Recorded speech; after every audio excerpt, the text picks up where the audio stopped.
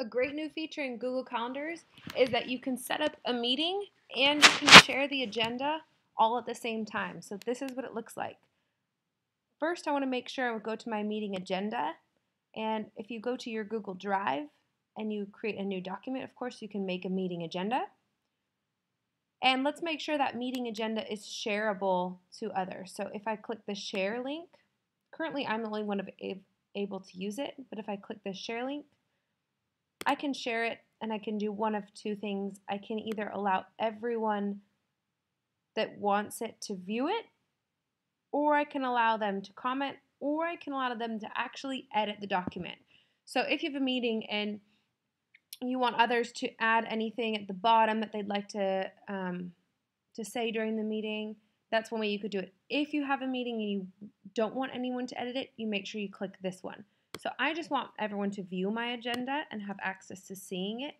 So I'll copy that link. And I'm just, once I've done this, click this. Now anyone with the link is going to be able to view it. So then when we get back to our Google Calendars, let's say I want to have a meeting at 8 a.m. on Wednesday. I'm going to click Wednesday 8 a.m.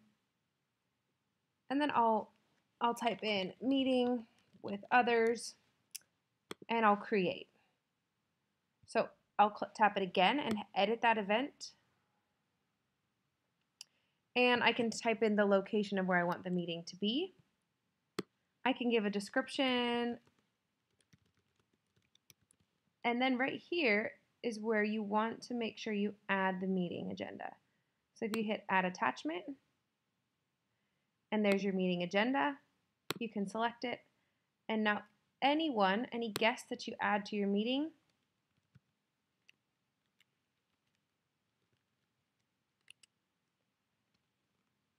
those guests will be able to tap the agenda and view it. Now, if you want them to edit it, of course, you've got to change your share to edit. Really great way to just get everybody on the same page, in the same place at the same time.